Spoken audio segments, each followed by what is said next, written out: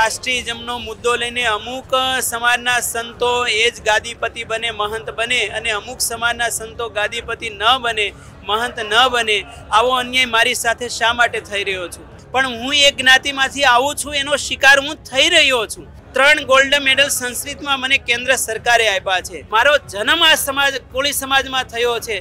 તો એમાં હું જન્મ થયો, મારો કોઈ ગુનો તો નથી? ભારતીય આશ્રમ સરખેજમાં ઋષિ ભારતી બેઠા છે, સેવા કરે છે, એટલે બધા એને ખટકે છે.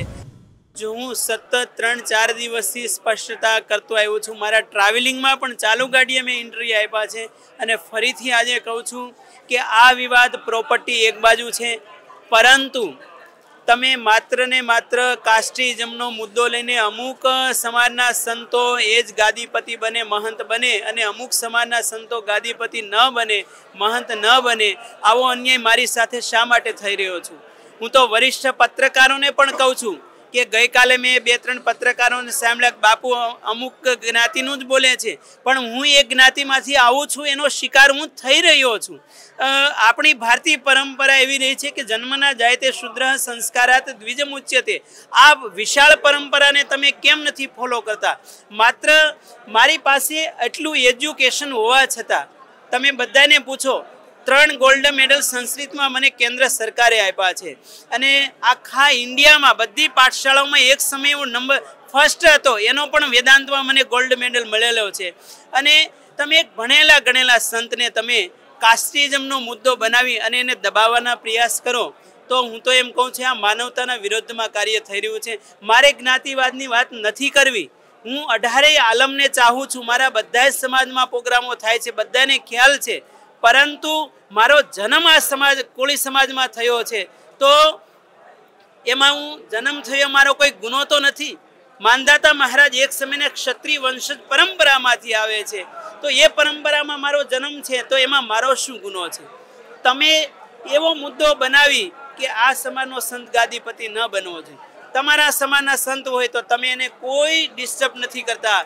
એને ઘરમાં જેમ નવી વહુ આવેલી હોય એવી રીતે તમે એને હાચવો, એને મહંત બનાવો, એને તમે સ્વતંત્ર વહીવટ સોંપો, તો વાંધો નથી. માત્ર ને માત્ર ભારતીય આશ્રમ સરખેજમાં ઋષિ ભારતી બેઠા છે, સેવા કરે છે, એટલે બધા એને ખટકે છે. એટલે તમે એન પ્રકારે તેજો દ્વેષથી માત્ર અમુક પ્રકારના ષડયંત્રો કરી અને એને બદનામ કરીને દબાવવાના પ્રયાસો કરી રહ્યા છો. હું તો એમ કહું છું, મને જેટલો બદનામ કરવો એટલો આપ કરી શકો છો. પરંતુ સૂરજ આખે સૂરજનો સૂરજ જ રહે છે. અને ગિરનારી મહારાજ બધાને સદબુદ્ધિ આપે એવી હું પ્રાર્થના કરું છું. કેરેક્ટર કેરેક્ટર એસોસિએશન કરવામાં આવી રહ્યું છે. જુઓ જે વ્યક્તિ એવો આક્ષેપ કરે છે પેલા એનામાં એ લાયકાત છે કે નહીં એ તો તમે તપાસ કરો. અમારી ગેરહાજરીમાં આવે અને કોર્ટે આદેશ નથી આપ્યો.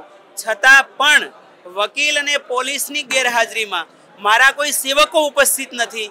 જ્યારે પ્રવેશ લીધો ત્યારે ખરેખર જે મારો રૂમ નથી અને મારા રૂમ તરીકે સાબિત કરી દેવામાં આવે છે. એટલે આ વાત તદ્દન ખોટી છે. બાપુ એક વસ્તુ.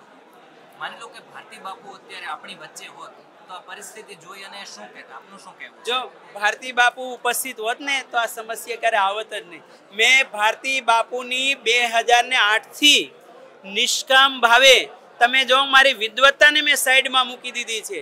અને હું કથા પ્રસંગો જે મારા કથાઓ બુક થતી હતી. કથાઓ પણ બાપુની સેવા માટે મેં ભાગવત છોડ્યું. બાપુની સેવા માટે મેં રામાયણની કથાઓ પણ છોડી છે.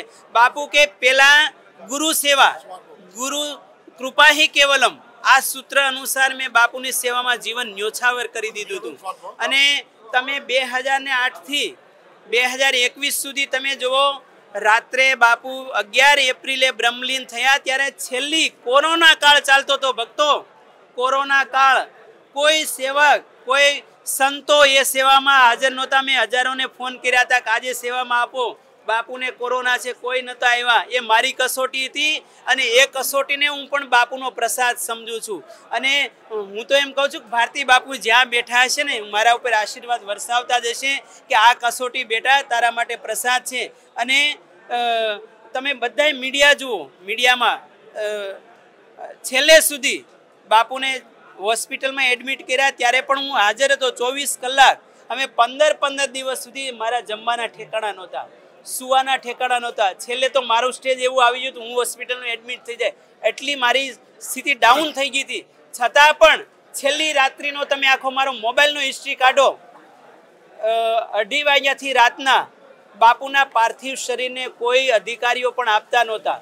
મને કહેવામાં આવતું હતું કે નંદનની બોડીને પણ નથી આપી, ભારતી બાપુની પાર્થિવ શરીર નહીં મળે.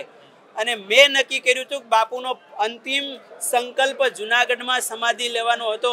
તે બાપુને મનોમન પ્રાર્થના કરી, હે બાપુ, તારો સંકલ્પ હું પૂરો કરું એવા મને બળ અને આશીર્વાદ આપજે. બધા અધિકારીઓ ના પાડી. છેલ્લે મેં ડેપ્યુટી સીએમ નીતિનભાઈ પટેલ હતા એને ફોન કર્યા કે હું સંન્યાસી છું. હાથ ન જોડું, પરંતુ આજે તમને કરબદ્ધ વિનંતી તો કરું છું કે બાપુનો આ સંકલ્પ આપ સિદ્ધ કરાવો. દસ મિનિટ, ખમો. બાપુ, દસ મિનિટ પછી ફોન આવ્યો અને પછી બાપુના પાર્થિવ શરીરને આપવામાં આવ્યું છે. અને પછી બાપુને સંકલ્પ સિદ્ધ થયો છે અને એ જ રાત રાત્રિ અને બે હજાર એકવીસ અને લગભગ બાર એપ્રિલ એ દિવસનો આખો મારો તમે શિડ્યુલ જો બાપુને સમાધિ અપાય. અમે પંદર પંદર દિવસથી થાક્યા હતા. બરાબર? અને અમે અમને રાત્રે સુવા પણ નથી દીધા ત્યાં, જુનાગઢ. અહીંયા રૂમમાં સુતા હોય તો ન્યા ઊભા કરીને કાઢે. બીજી રૂમમાં સુતા ન્યા ઊભા, એટલે બાપુ ગયા એટલે મારી સાથે સીધું આવો અન્યાય. આવી રીતે ટોર્ચિંગ શા માટે? તમે વડીલ છો, સમાન દ્રષ્ટિ રાખો.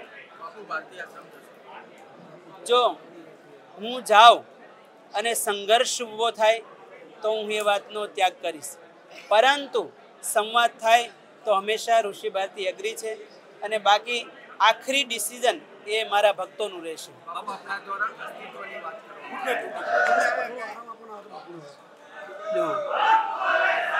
હવે અન્યાય થશે તો હું તો સહન કરી લઈશ પરંતુ મારા ભક્તો એમની પીડા એ ક્યારે સહન ના કરી શકે.